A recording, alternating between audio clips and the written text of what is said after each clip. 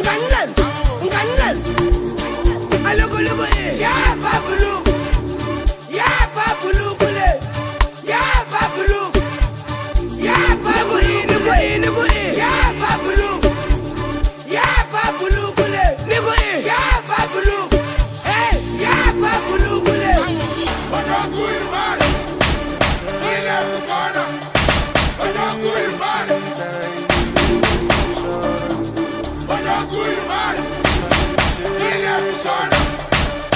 Don't worry about it.